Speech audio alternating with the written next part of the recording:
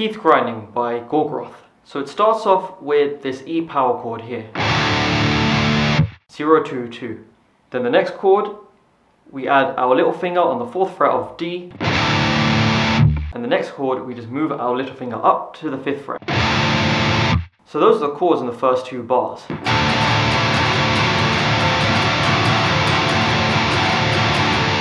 Strum with the Gorgoroth rhythm. So it's going to be down, down, up, down. That's going to be the rhythm we're playing.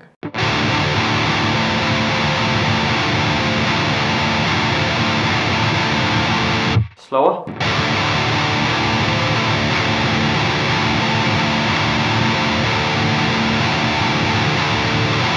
And then we use that same rhythm, but this time we just change the chord. So now we play this minor triad here, 4, 2, 1, on E, A, and D.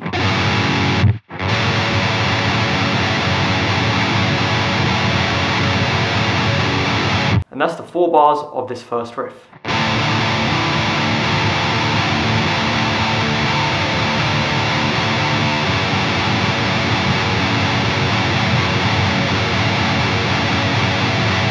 The important part is to keep the strumming consistent. Riff number two has mostly the same rhythms, but we just play them a bit differently. We still start with an E power chord. This time it's palm muted. And now it just follows the same rhythm with the palm mute playing this E power chord.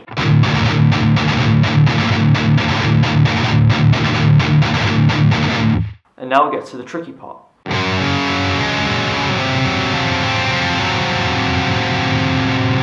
The first thing we want to do is play a power chord shape, 466 on E, A and D. And then we move our first finger to the third fret of G, and this time we pick from G to the A string. Because we keep the fingers on the A and D string.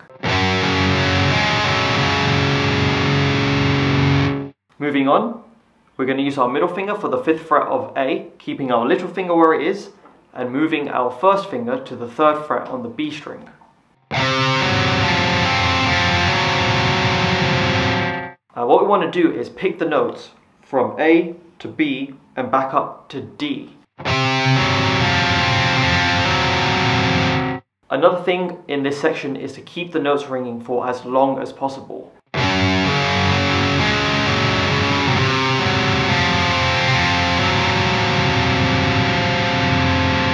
All the notes sing and blend in together. And then we finish riff 2 with this inverted power chord. And then we just play the chord with the Gorgoroth rhythm. And there's teeth grinding. If you'd like to suggest more riff lessons, please comment down below.